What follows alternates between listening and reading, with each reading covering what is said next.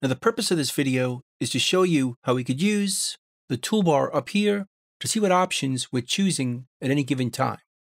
For example, let's say I'm recording some guitar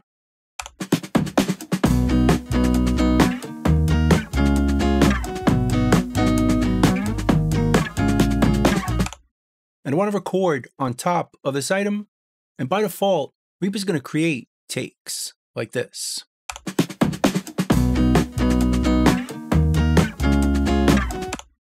Reaper created another take, which you can choose from by using the T key for take one or take two.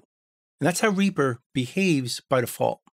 But we could change that behavior if we go up here to the options menu and choose overlapping recording behavior and change it from the default, which is creating takes, to trim existing items or tape mode. And if we choose this and record on top of this guitar,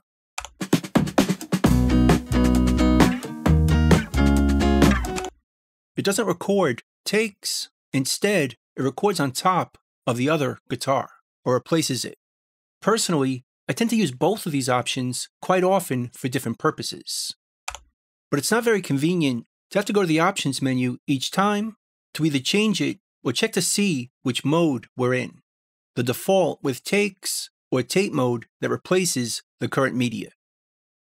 But luckily, we can use our toolbar buttons to switch modes but also see which mode we're currently in. So you can right click up here, go to Customize Toolbar, and go down here and right click. I'm going to create a separator to create some room. Right click again, Insert Action, and type into the filter New Recording. And here are the options we want to go through. Right over here is the default action, which creates takes, and over here is tape mode. So let's choose both of them, hit select close, and it puts both of them down here. Let's put the separator above it. This one creates takes, and this one is tape mode. And we could add our own toolbar buttons over here just by right clicking. Let's go to our filter and type in take. And for the first one, I'll use this button. And for the second one, for tape mode, I'm going to use this button. So it'll look like this. Hit OK. It adds those buttons up here. Now we can choose which mode we want to use, whether it be takes or tape mode, right from here. But more importantly, we'll always know which mode we're in. If I want to record takes, choose this one.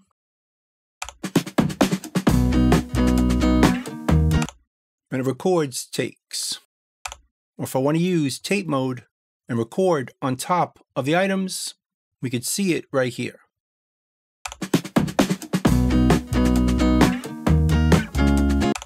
And we get that behavior.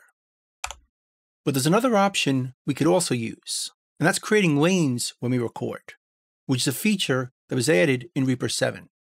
So again, if we go to the options menu and choose overlapping recording behavior, we could choose to add lanes right here.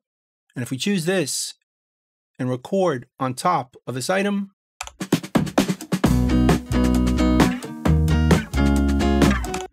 Instead of creating takes or recording on top, it creates lanes.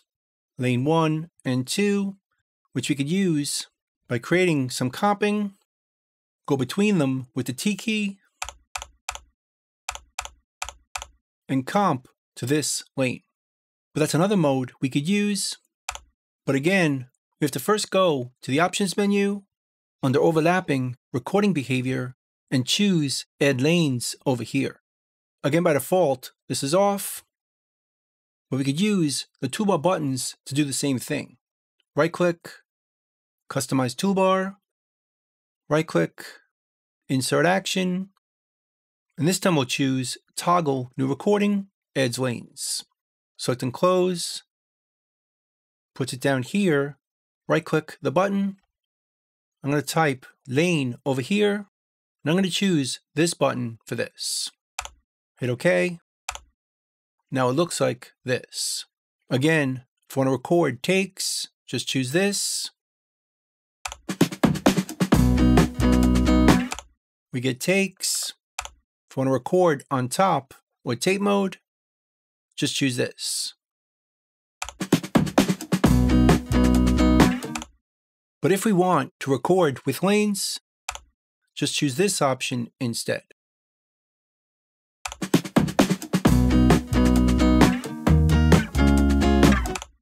Now Reaper creates separate lanes for each pass we record. And now, because we created two toolbar buttons for each, we always know which mode we're in. So if we want to record takes, choose this, or tape mode, or finally, And we could use the toolbar for so many more options.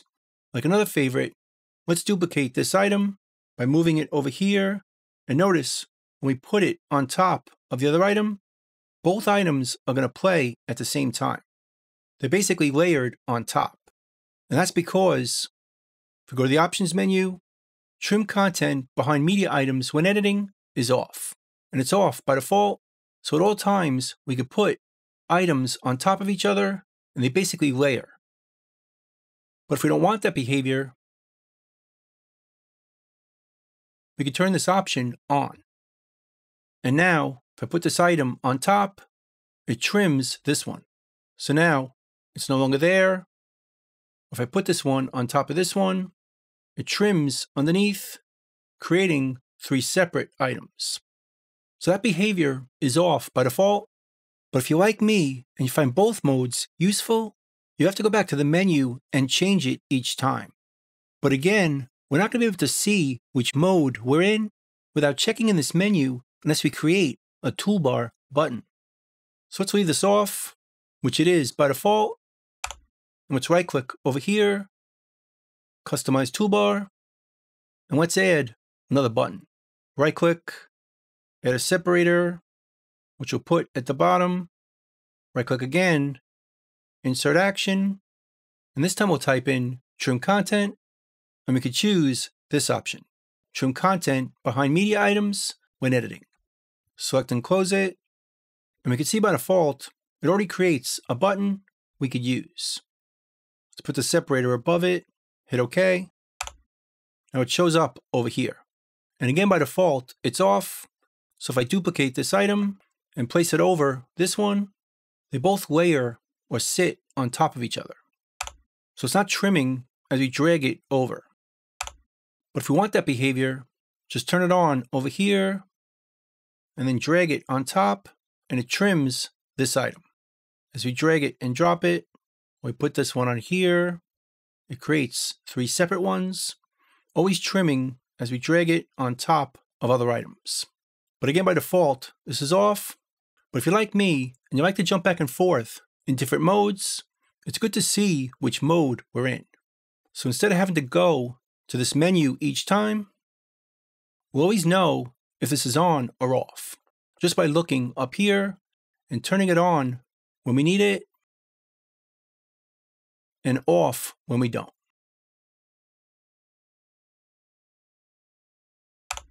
So there's one more example I want to show you. By default, we play back our track,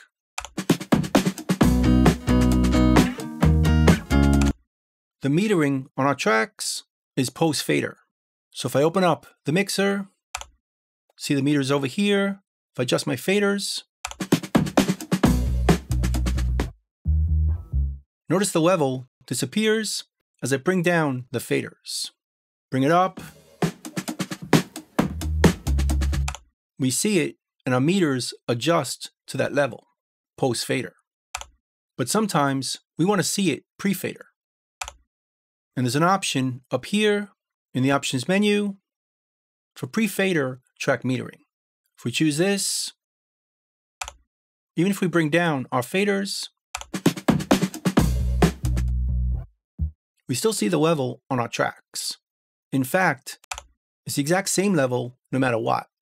No matter where we put our fader, the level is the same because it's not based on our fader, it's pre-fader. So if you're like me and you like to jump back and forth, you might want to create a toolbar button for this as well. Again, we'll right click up here, customize toolbar, go down here, create a separator, insert an action, pre-fader track metering, select and close it, shows up down here. Let's give it a toolbar button. I'm going to choose this one, hit OK, and it looks like this for pre-fader metering. So with it off, it's post-fader,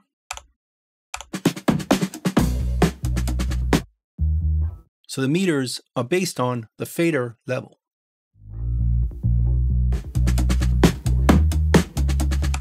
But if we want pre-fader metering, just turn it on right here, and now our meters are pre-fader. So even with the faders all the way down, we still see the same level on our meter, as it's not based on our fader, it's just based on what we recorded to the track. As we can see right here.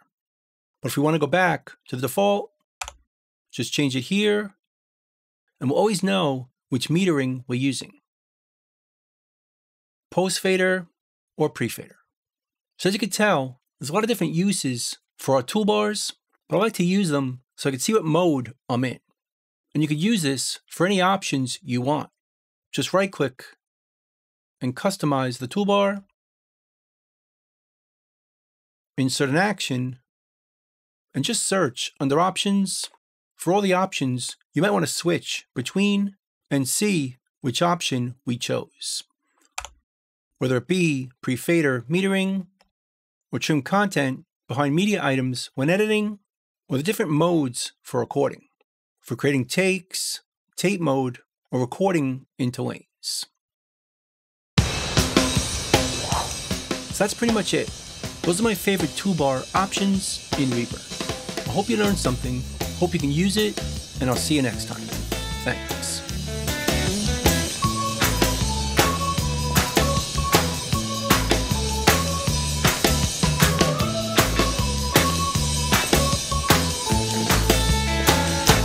Bingo, boys, let's go.